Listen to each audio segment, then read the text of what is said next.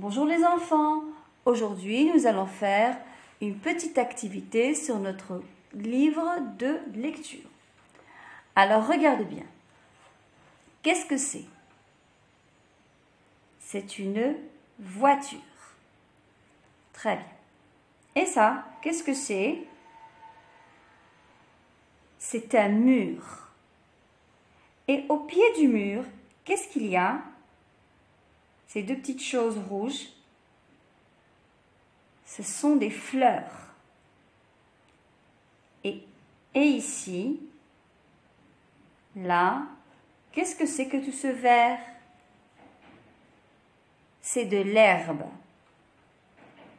Là, tu vois ça? Qu'est-ce que c'est? En marron.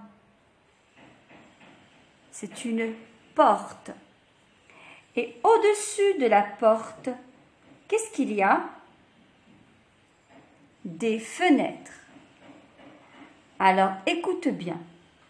Voiture, herbe, porte, fenêtre, mur. Quels sons on entend à chaque fois?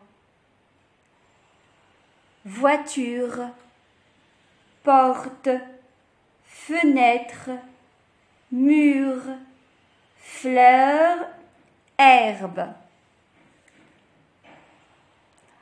Très bien, le son R.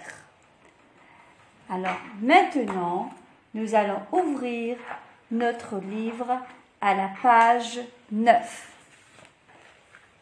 Cette page. Très bien. On commence. Bien, je te lis la consigne. Je colorie les dessins où j'entends le son R. Alors regarde. Qu'est-ce que c'est? C'est une rose. Est-ce que tu entends R dans rose? Rose. Oui, il y a le son R dans rose. En fait, rose commence par le son R. Je vais colorier ma rose. Voilà, j'ai fini de colorier ma rose. Et ça, qu'est-ce que c'est? C'est un arrosoir. Arrosoir.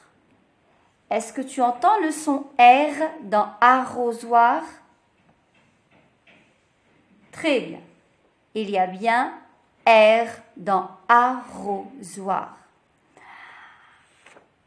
Alors, je vais colorier mon arrosoir en marron.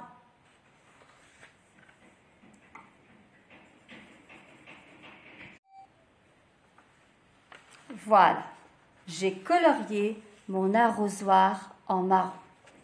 Et ça, qu'est-ce que c'est? C'est une vache. Une vache. Est-ce qu'il y a le son R dans vache? Non.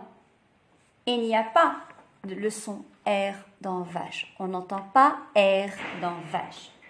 Alors, je ne le colorie pas. Je laisse comme ça. Voilà, on a terminé notre activité.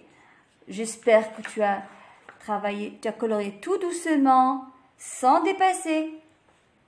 Très bien. Alors, je te laisse te reposer. Je te dis à bientôt.